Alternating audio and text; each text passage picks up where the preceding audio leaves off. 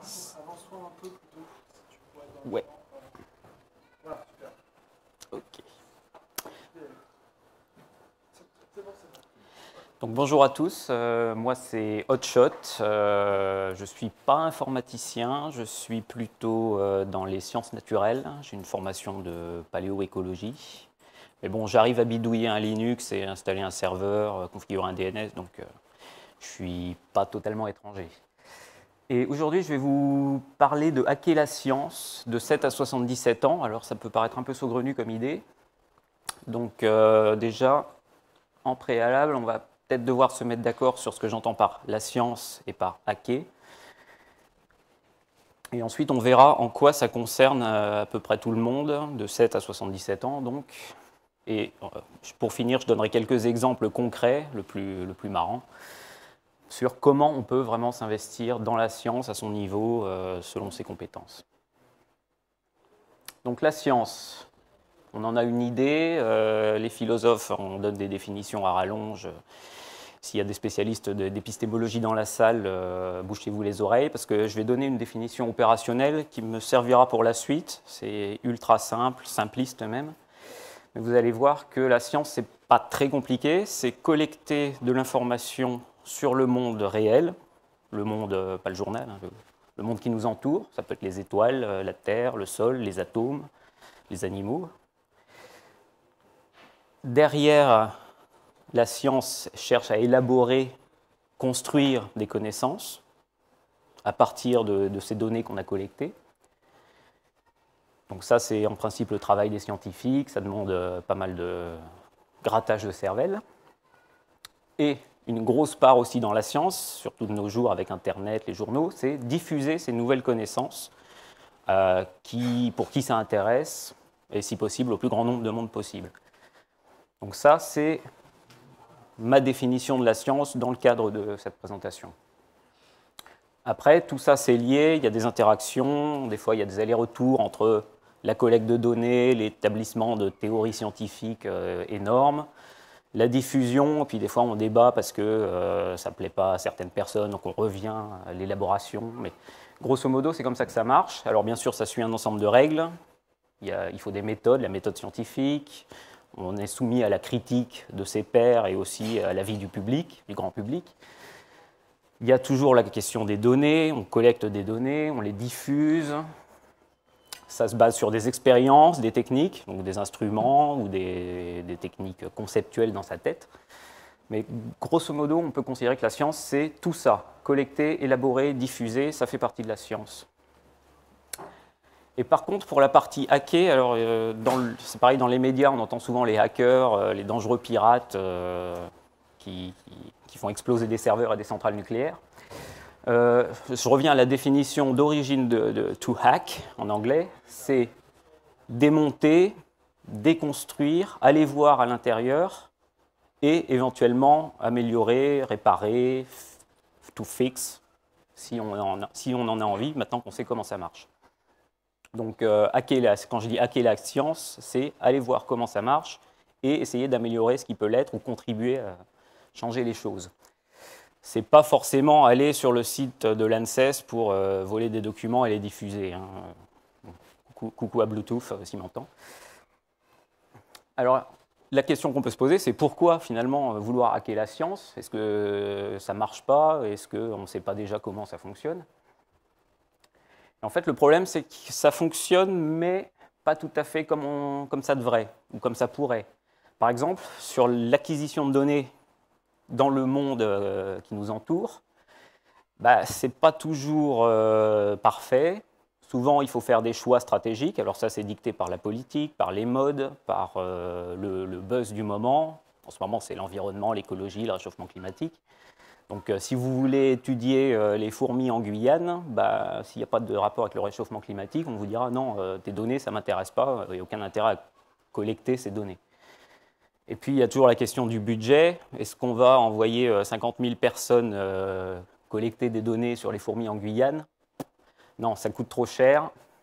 En plus, euh, bon, c'est la crise économique partout euh, en Occident. Donc, non, ça n'intéresse pas.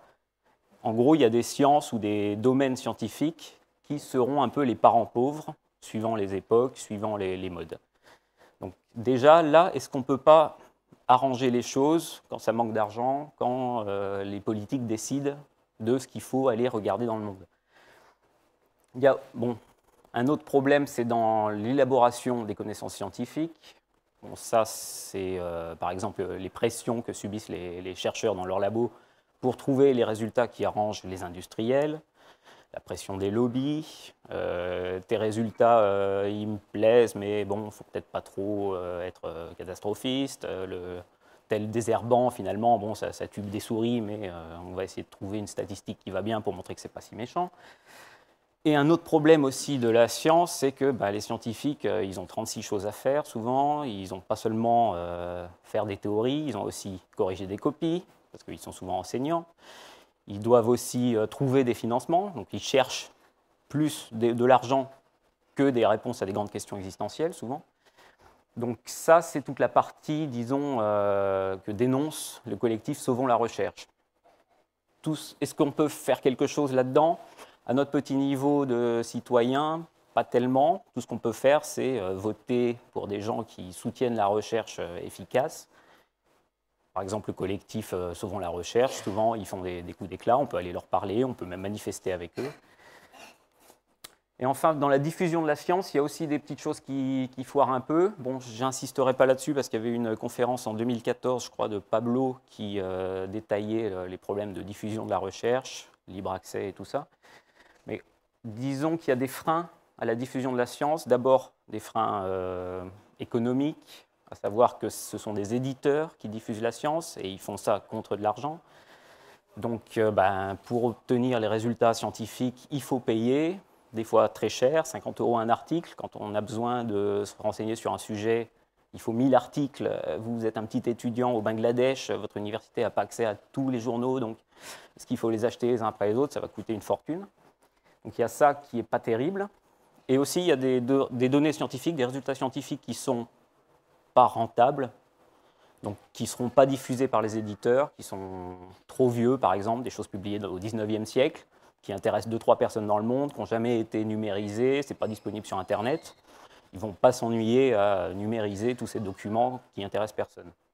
Donc là aussi, on peut aider à diffuser à notre petit niveau peut-être, sachant que sharing is caring, c'est-à-dire partager, c'est euh, une preuve d'amour aussi, c'est se soucier de son prochain. Et donc au final, la science qui devrait bien marcher, elle marche pas si bien que ça. Il y a des petites choses qui, foirent. Et du coup, Grumpy Cat is grumpy is sad. Et pourquoi est-ce que moi, citoyen, euh, adolescent, retraité, je devrais m'intéresser à ça?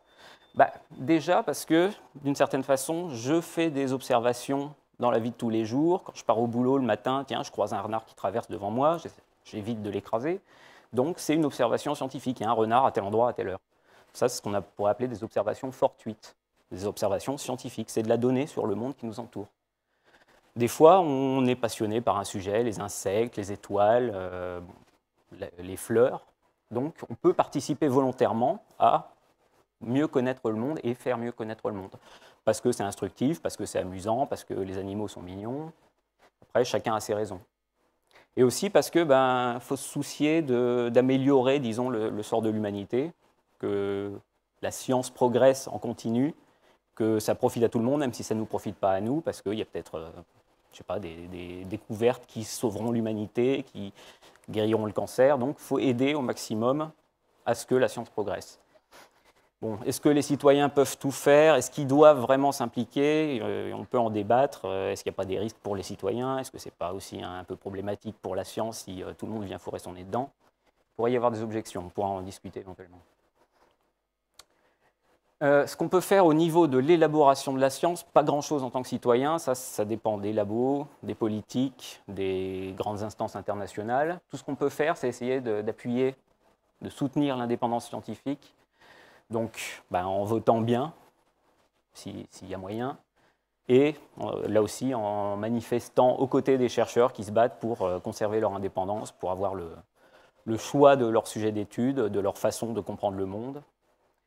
Et il y a aussi, disons, une certaine défiance ou méfiance à l'égard d'une science qui est un peu cachée, qui est un peu lointaine. Donc c'est bien aussi de, se soucier de ce qui se passe dans les labos, parce que bah, finalement, c'est des gens comme vous et moi. Donc, ça permet de démystifier cette science professionnelle mieux que 24 heures par an pendant la, science en fait, ou euh, quand on va visiter un labo, où là, on fait des petites expériences, mais finalement, on ne sait pas trop comment ça marche le reste du temps et qu'est-ce qui se passe vraiment dans les coulisses.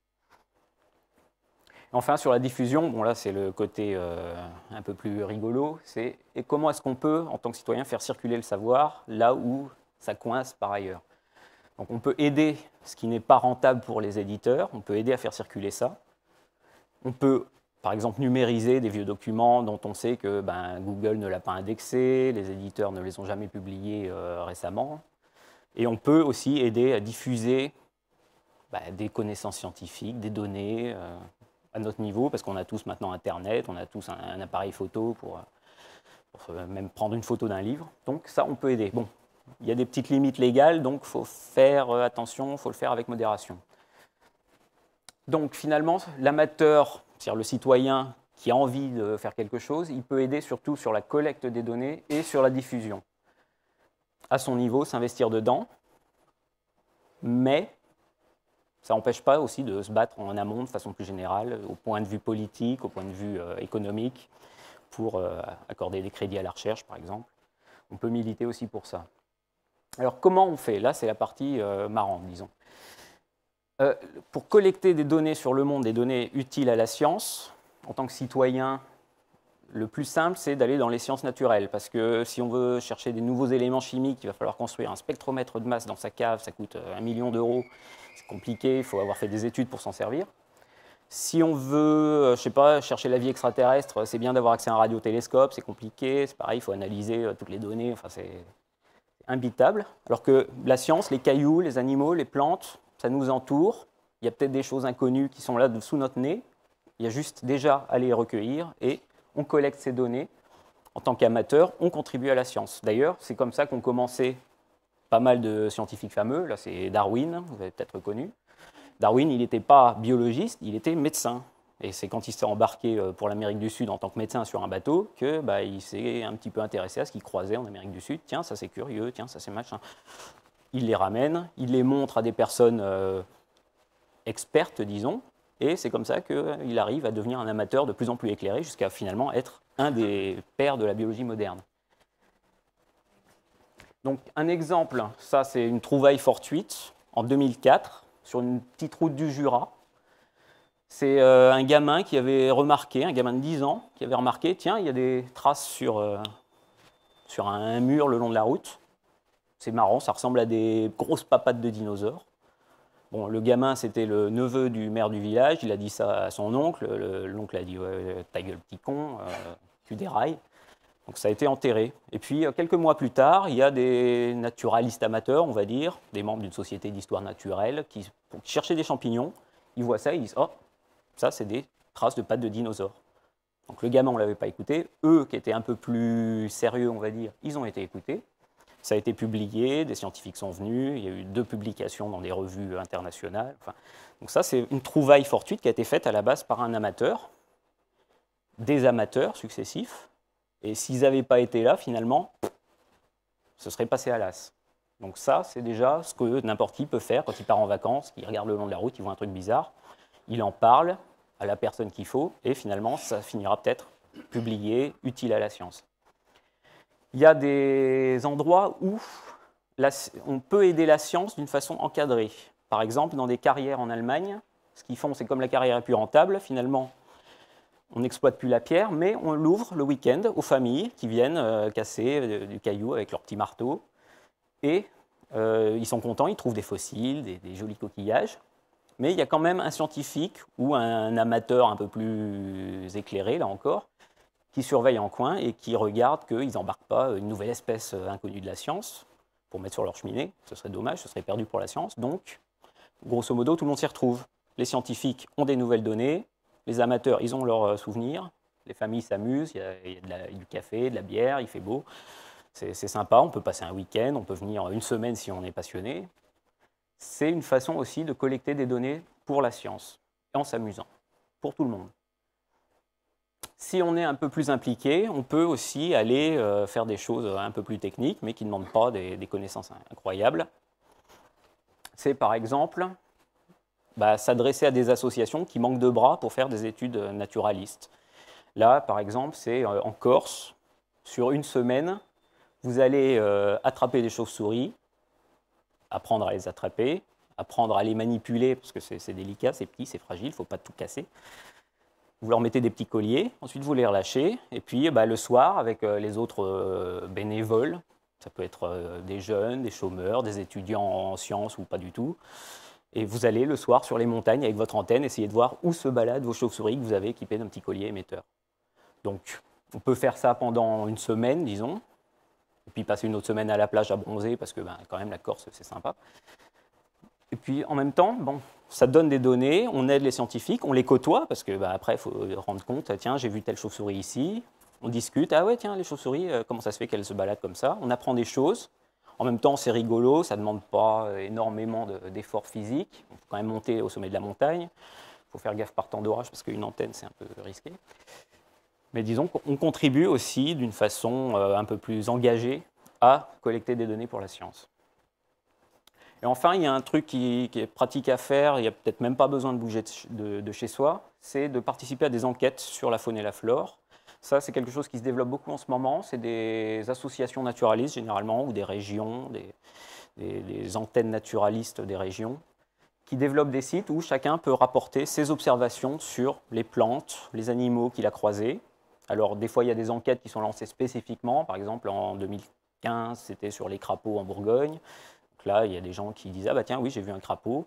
Ce n'est pas forcément sur l'année euh, en cours et pour l'enquête en cours. Chacun peut rapporter ses observations. Entrer, euh, tiens, j'ai vu un renard en 2003 euh, sortir de ma maison, il a mordu mon chat. Enfin, c'est une donnée scientifique, c'est utile, même si c'est lointain dans le temps, c'est passé, mais c'est de la donnée sur le monde réel et ça aidera les gens à savoir tiens, il y avait des renards à tel endroit, et maintenant ils n'y sont plus, comment ça se fait? c'est de la donnée utile que chacun peut faire finalement sans aller chercher. Euh, on peut se connecter une fois par an, chaque fois qu'on croise un nouveau crapaud sur la route. Ou alors aller le soir, tiens, qu'est-ce que, qu'est-ce que j'ai autour de chez moi? Est-ce que j'ai un renard? Est-ce que j'ai euh, une hirondelle? Et là, on rentre soi-même les données volontairement. Donc il y a ça dans un peu toutes les régions. Après, vous pouvez chercher sur Google. Malheureusement, ce n'est pas trop centralisé. Il n'y a pas de répertoire. Mais Google, ça marche, euh, vous trouverez euh, s'il y a une enquête en cours et vous pourrez même rentrer vos observations qui vous arrangent. Vous n'êtes pas obligé de donner un tas de détails, euh, ça s'adresse vraiment à tout le monde. Vous n'êtes pas obligé de savoir le sexe du renard. Vous dites juste j'ai un renard mort devant chez moi, tel jour, tel endroit, vous pointez sur une carte, ça marche. Problème, bon, c'est qu'il ne faut pas non plus faire n'importe quoi. Vous n'allez pas vous balader autour de chez vous dans votre campagne profonde et dire tiens, je vais ramasser toutes les grenouilles, comme ça je saurai combien il y en a et puis je servirai à la science. Ça, c'est interdit. Les grenouilles, c'est protégé, il ne faut pas les toucher, il ne faut pas les déranger. Et puis, euh, des fois, bon, euh, on peut être tenté, euh, quand, on, aime bien, d'en rajouter. Par exemple, dans les falaises du Cap Blanc-Nez, dans, le Pas-de-Calais, il y a des amateurs de fossiles. Bon, c'est une réserve naturelle, mais ils allaient quand même avec leur petit marteau casser à la base de la falaise. Petit peu risqué, il y en a qui ont même utilisé des explosifs. Donc là, ça commence à être un peu risqué pour les gens du dessus et les gens du dessous. Et de toute façon, c'est interdit. Donc les gendarmes, maintenant, ils savent, ils surveillent les gens. Vous avez le droit de ramasser ce que la mer dégage. Et là, c'est très bien parce que ben, ça fait plaisir aux gamins, ils ont des, beaux fossiles. Ça évite que ce soit détruit par la mer. Mais par contre, interdiction de casser. Et après, bon, malheureusement, il n'y a pas de spécialiste pour euh, encadrer euh, cette collecte. Donc euh, il y a peut-être des choses formidables et nouvelles qui sont enterrées sur une cheminée chez quelqu'un. On ne saura pas. Donc voilà, il faut essayer de respecter les lois et d'avoir un minimum de bon sens quand on fait de la collecte de données à but scientifique. Sur la diffusion, c'est là où ça ne demande vraiment pas de gros moyens. On peut faire selon ce qu'on aime, selon son domaine de prédilection, selon ses capacités en informatique, par exemple. Alors, la diffusion, ça peut être dans un cadre qui reste pour le moment légal en France, savoir euh, la diffusion d'images, de, photos qu'on a prises, parce que prendre des photos d'un animal, ça aide à diffuser les connaissances. On est des primates visuels. On aime bien voir pour comprendre euh, ce qu'il y a dans le monde. Donc si vous fournissez des photos aux scientifiques, ils sont contents. Ça aide tout le monde, ça aide les gens à se représenter ce que c'est que telle espèce. Donc on peut faire ça, par exemple, il y a Wikimedia Commons, il y a des gens en bas très bien qui vous expliqueront ça mieux que moi. On peut poster ces photos, les héberger là. Si on a une belle photo d'un pissenlit, bah, c'est utile parce que bah, voilà, c'est de la donnée scientifique aussi, une belle image d'illustration. Idéalement, il faut les publier sous une licence où on accorde le droit aux autres d'en faire ce qu'on veut, y compris aux scientifiques. Donc licence Creative Commons euh, assez permissive, on va dire. Et maintenant, il y a même des revues de vulgarisation qui utilisent les, photos de Wikimedia Commons, les photos CC libres, pour illustrer leurs articles, parce qu'ils n'ont pas les moyens de se payer un, photographe professionnel pour aller photographier un pissenlit euh, dans le sud de la France. Ils n'ont pas les moyens, c'est pas rentable et ils n'ont pas un gros lectorat. Donc euh, bah voilà, un exemple de journal qui se base sur des données libres contribuées par des gens euh, comme vous et moi, des photographes amateurs, des gens qui aiment bien les fleurs, qui aiment bien faire des macro-photos d'insectes parce que c'est joli. Bah, des fois aussi, ça sert à la science, ça sert à aider à comprendre la biologie par exemple. On peut faire dans un cadre un peu moins légal. Bon, ça c'est plus pour des amateurs déjà qui cherchent de la connaissance scientifique et qui n'y ont pas forcément accès. Donc ça, c'est un projet qui a été lancé vers les années 2000, au début des années 2000, ça a duré une dizaine d'années. C'est des gens qui étaient passionnés de paléontologie, qui ont constaté qu'il y avait beaucoup d'articles, de vieux articles, de vieux livres, de vieilles publications scientifiques qui n'étaient pas accessibles, parce qu'à l'époque, il n'y avait pas encore Google Books qui avait indexé toutes ces vieilles archives.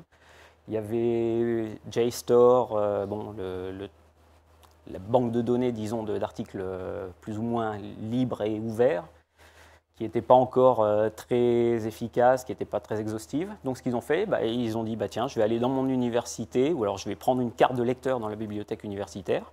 Je vais emprunter des, vieilles thèses universitaires des années 60, je vais emprunter tel article de 1820 écrit par un obscur scientifique anglais, je vais le ramener chez moi, je vais le numériser et je vais partager ça avec ben, les copains, les gens que je connais, gens avec qui je vais chercher des fossiles le week-end.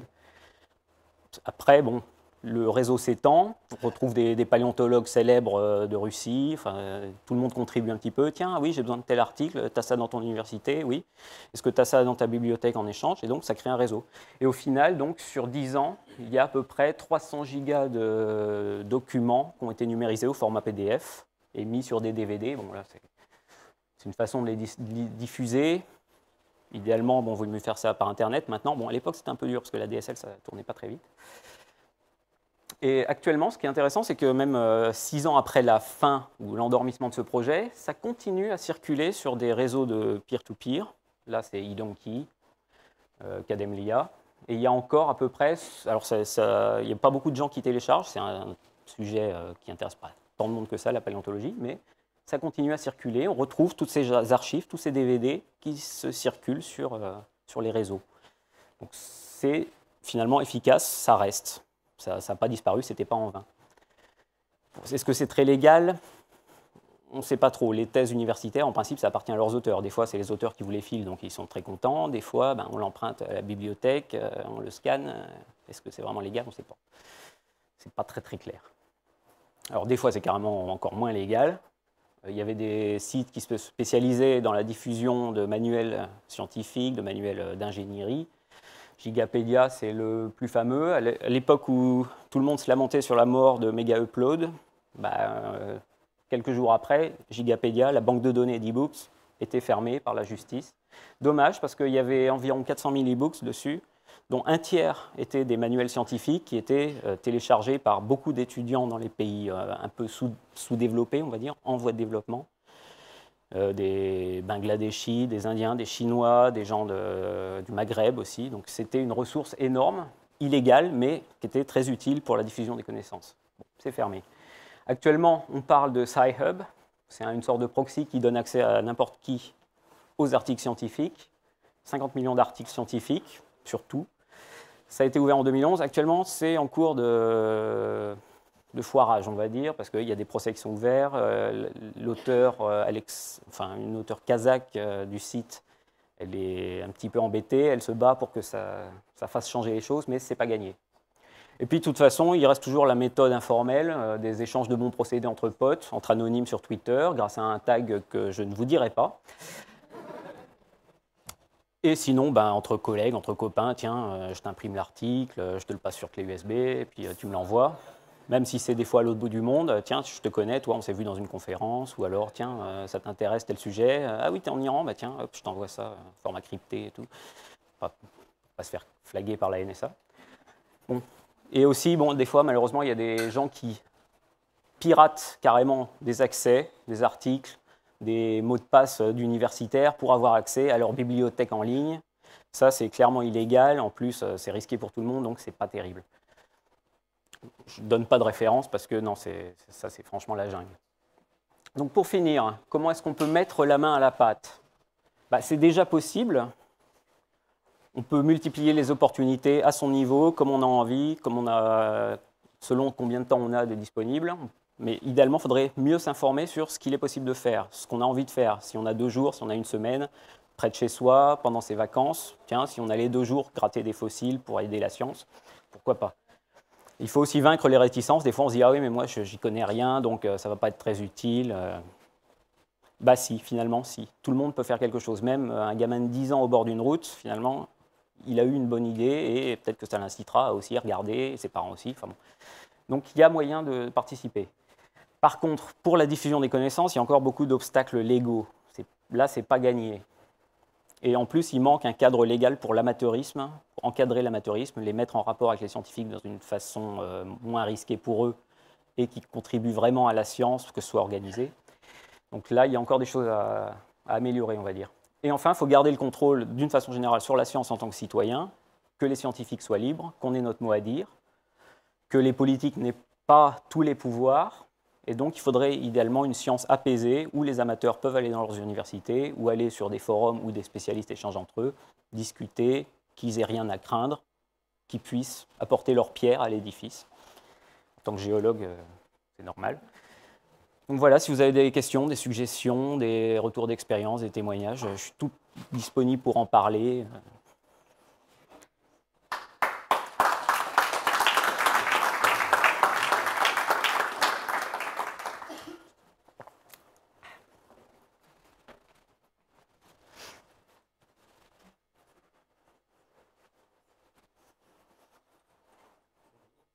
Bonjour. moi, c'est une question à propos de l'analyse des données au final. Parce que si, les gens comme ça allaient récupérer eux-mêmes les données, l'idéal, ce serait après qu'elles puissent être analysées par des professionnels qui pourraient faire la différence. par exemple, dans le canard fossile, si on n'est pas sûr si c'est une nouvelle espèce, il faudrait quelqu'un pour analyser la donnée, vérifier.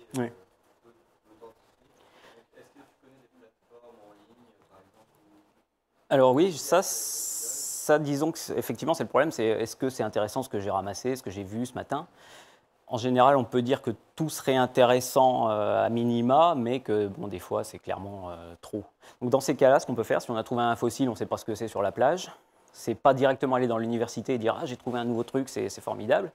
Non, c'est maintenant c'est génial, il y a Internet, il y a un forum pour tout, pour les amateurs d'araignées, pour les amateurs d'orchidées, pour les amateurs de fossiles. Dans chaque pays, il y a ça quasiment. Par exemple, en France, on a Géoforum. C'est un forum d'amateurs de géologie, donc euh, fossiles, minéraux, tout ça. Ce n'est pas de la vente, c'est juste des gens plus ou moins doués, même des spécialistes, des scientifiques professionnels. Et là-dessus, on peut dire tiens, j'ai trouvé ça, je vous poste la photo. Est-ce que c'est intéressant? Qu'est-ce que c'est déjà Savoir ce que c'est qu'on a trouvé. Et ils vous diront ah oui, tiens, ça c'est bon, ça c'est classique. Ah, ça c'est intéressant. Tiens, vous ne savez pas qu'il y avait ça là. Et donc là, après, on peut avoir accès euh, à la science euh, géniale. D'accord. Tu pourrais nous remettre euh, l'URL Donc Géoforum, bah, c'est marqué là en fait, mais après, voilà, géoforum.fr. Ça c'est pour ce qui est les fossiles. Après, bon, il y a des forums vraiment pour tous. Pareil, Google, vous trouvez. Malheureusement, il n'y a pas de plateforme qui centralise toutes les façons d'identifier ce qu'on observe autour de nous. Il n'y a pas de plateforme qui centralise toutes les offres de, enfin les recherches de bénévoles pour tel projet scientifique. Ça n'existe pas encore.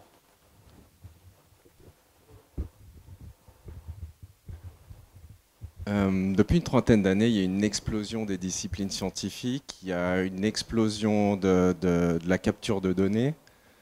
Euh, J'imagine que tu as une, réponse assez claire sur, euh, sur comment on peut apporter plus d'attention à, la gestion, enfin à cette, cette quantité de, nouvelles données. Mais en général, est-ce qu'il n'y a pas une, problématique de trop de données?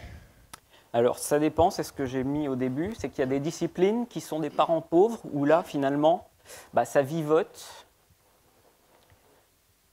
Euh, voilà. La collecte de données, ça marche très bien, par exemple, pour l'astronomie. On découvre euh, 5000 exoplanètes à la, à la minute. Il y a des amateurs qui découvrent des nouveaux astéroïdes euh, tous les jours. Voilà. Et par contre, il y a d'autres domaines, bah, finalement, plus personne n'est allé voir depuis deux siècles si, euh, par exemple, les, arachnides en Corse, personne sait euh, les araignées de Corse, combien il y en a, euh, quelles espèces il y a. Et là, on manque parce que bah, ça intéresse plus grand monde, alors que ça pourrait être intéressant pour le réchauffement climatique, pour la biodiversité, mais non, bah, c'est passé de mode. Donc voilà. Donc il y a des domaines où il serait bien d'aller chercher plus de données. Il y a des domaines où effectivement ça marche super, il y a de l'argent, il, il y a des gens sur le terrain en permanence. Là, c'est pas un souci. Est-ce qu'il y a une, une espèce de, de liste de, ces, de la demande de collecte euh, Non, mais alors justement, on peut, on peut savoir. euh, bah, C'est- un peu aussi une question que quelqu'un pose euh, effectivement sur Internet, c'est-à-dire que quand on a connexion Internet, zone boisée, bonne volonté, comment est-ce qu'on trouve comment on peut être utile? Alors voilà, en gros, c'est euh, tellement dispersé, il n'y a pas de plateforme qui centralise les façons de s'investir dans la science en tant que citoyen euh, activement. Euh, ce qu'on peut faire déjà, c'est regarder dans les sites d'offres d'emploi, parce que souvent ils cherchent des bénévoles, c'est bizarre, ça met en concurrence les employés, les bénévoles, les volontaires service civique, enfin c'est... Mais des fois, ils recherchent spécifiquement des bénévoles sans formation, juste des gens intéressés qui sont prêts à aller euh, pister des chauves-souris une semaine en Corse. Bah, ça, vous trouverez ça sur Pôle emploi ou sur des sites d'emploi euh, à Pesita, des trucs agricoles. Donc là, on peut regarder et dire ah, tiens, ouais, j'ai ça, je serai en Corse à ce moment-là, bah, plutôt que de bronzer sur la plage. Allons-y. En plus, on est no- nourri, logé, on discute avec des gens sympas, donc euh, c'est sympa. Mais il n'y a pas de plateforme vraiment qui centralise, donc c'est dur de trouver. On peut s'adresser aux fédérations naturalistes, aux associations. Ouais, ouais. Ouais, c'était surtout une remarque, mais je, je me disais que ça pouvait être pertinent d'évoquer le cas d'Aaron Schwartz, qui quand même a essayé de... Enfin, on ne sait pas exactement ce qu'il a fait, on ne pourra pas rentrer dans la polémique, mais que ça peut être pertinent dans une, démonstration, dans une présentation comme celle-là de citer le cas d'Aaron Schwartz qui a voulu, qui a récupéré les- des, des milliers de documents de Gistor justement pour éventuellement les mettre en ligne, on ne sait pas justement, c'est l'objet du truc, mais euh, ça peut valoir le coup, euh, dans un cas de celui-là, d'évoquer sa, sa- sa mémoire euh, et Oui, le travail oui, qu'il a fait, euh, justement, qui est complètement lié euh, à ta, à ta, à ta conférence. quoi. Oui, effectivement, il y, a- il y a des gens qui ont voulu faire ça. Ça n'a pas toujours bien fini. Je suis désolé, mais il faut arrêter là, parce que maintenant, hop, on va passer au point suivant. Merci.